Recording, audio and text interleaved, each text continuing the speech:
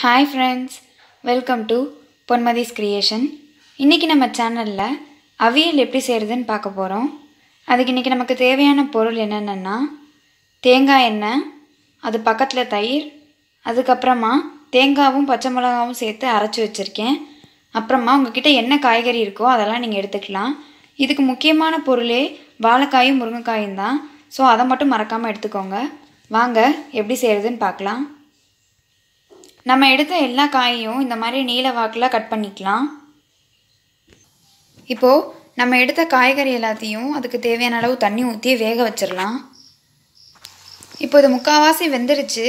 இது முக்கால்வாசி வெந்ததுக்கு அப்புறமா நம்ம அரைச்சி வச்சுருக்க அந்த தேங்காவை அதில் சேர்த்துக்கலாம்.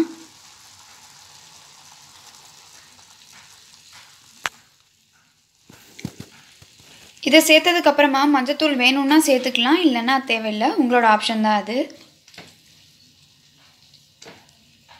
இது ஒரு நிமிஷம் நல்லா கொதிக்கட்டும். கொதிச்சதுக்கப்புறமா இதுக்கு தேவையான அளவு உப்பு சேர்த்துக்கலாம்.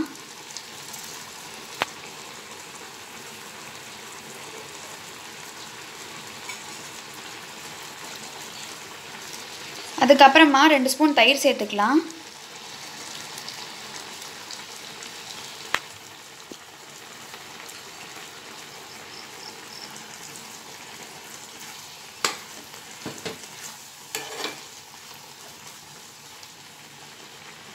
இப்போ இது நல்லா கொதிக்கட்டும் கொஞ்சம்.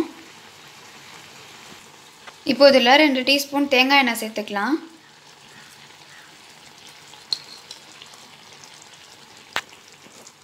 சேர்த்ததுக்கப்புறமா ஒரு நிமிஷம் கழித்து நம்ம ஸ்டவ் ஆஃப் பண்ணிடலாம். அவ்வளோதான் ஃப்ரெண்ட்ஸ் இப்போ ஸ்டவ் ஆஃப் பண்ணியாச்சு. இன்னொரு கடாயில் கடுகு பருப்பு போட்டு தாளிச்சிட்டு இதில் சேர்த்துக்கலாம். அவ்வளோதான் ஃப்ரெண்ட்ஸ் நம்மளோட சூப்பரான அவியல் ரெடி ஆகிடுச்சு நம்ம சேனலை சப்ஸ்கிரைப் பண்ணாதவங்க மறக்காமல் சப்ஸ்கிரைப் பண்ணிக்கோங்க. அப்படியே பக்கத்தில் இருக்க பெல்லைக்கானையும் கிளிக் பண்ணிக்கோங்க. அப்போ தான் நம்ம போடுற வீடியோஸ் அடுத்தடுத்து உங்களை வந்து சேரும்.